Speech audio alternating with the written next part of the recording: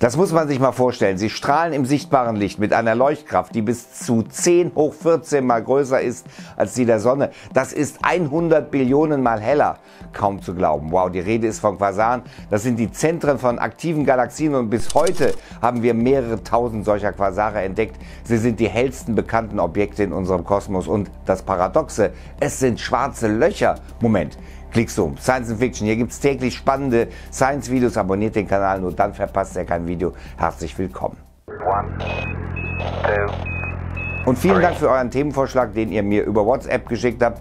Den Link zu WhatsApp findet ihr in der Videobeschreibung. Da gibt es die Links zu den Videos schon vor der Veröffentlichung hier auf YouTube. 1960 hatten Forschungsteams rätselhafte Radioquellen am Himmel aufgespürt, die genau wie Sterne Radiowellen ins All schickten. Doch es konnte sich nicht um Sterne handeln, denn dafür waren sie viel zu weit weg. Das, was die Signale aussandte, war also entweder extrem lichtschwach oder aber unsichtbar. 1962 hatte man dann bessere Instrumente am Start und den Forschungsteams gelang es doch etwas zu erkennen. Also doch schwach leuchtende Sterne, jedenfalls unvorstellbar weit weg von uns. Das Licht hatte mehrere Milliarden Jahre zu unserer Erde gebraucht und so konnte es sich eigentlich nicht um einen Stern handeln, denn diesen hätte man aus solch einer Entfernung gar nicht sehen können. Ein riesiges Rätsel für Astronominnen und Astronomen weltweit. Die große Frage also, was steckte wirklich hinter diesen mysteriösen Objekten? Fest stand zumindest schon mal ihr Name, getauft hatte man die kosmischen Objekte Quasar, abgeleitet von Quasi Stellar. Es brauchte noch einige Zeit, bis bessere Teleskope entwickelt worden waren, die dann endlich die Auflösung des Rätsels mit sich brachten. Quasare sind die Kerne von Galaxien, die besonders viel Radiostrahlung aussenden. Konkret gesagt sind Quasare die Kerne von aktiven Galaxien, anders als unsere Milchstraße, die so gut wie gar nicht aktiv ist. Erst ganze 36 Jahre später konnte eine Würzgalaxie der Quasare fotografiert werden. Das gelang dem Weltraumteleskop Hubble und machte somit noch einmal deutlicher, dass es sich bei den kosmischen Objekten um die hellen Kerne von Galaxien handelt. Theoretische Physikerinnen und Physiker erkannten schnell, dass die unfassbare Leuchtkraft der Quasare nicht mit der thermonuklearen Fusion, wie es bei Sternen äh, abläuft, zu erklären ist. Stattdessen sorgen schwarze Löcher dafür, dass Quasare heller leuchten als Milliarden von Sterne. Ein wenig paradox. Diese sitzen in der Mitte von großen Galaxien und sind super massereich, etwa so schwer wie ein paar Millionen Sterne. Doch das allein erzeugt noch nicht die unfassbare Leuchtkraft der Quasare. Sie sind ja schwarze Löcher, sondern erst ihre Kombination mit großen Gaswolken zu finden, sind diese überall in einer Galaxie, besonders gehäuft aber tatsächlich in ihren Zentren.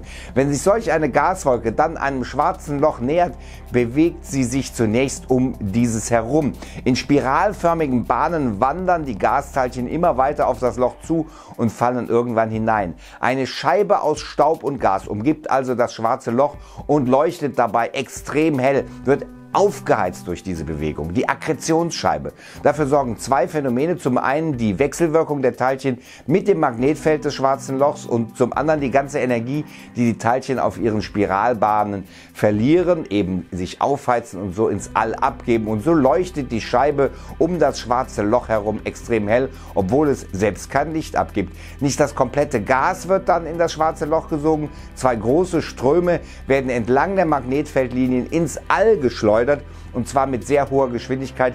Diese sogenannten Jets können unvorstellbare Millionen Lichtjahre lang sein und das ist auch die Erklärung dafür, dass sehr aktive Galaxien mit starken Quasaren in ihrem Zentrum weniger Sterne hervorbringen. Schließlich ist dafür nach einiger Zeit nicht mehr genug von dem benötigten Gas vorhanden.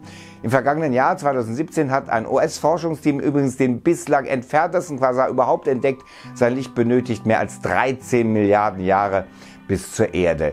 In dem Galaxiekern befindet sich ein schwarzes Loch mit 800 Millionen Sonnenmassen.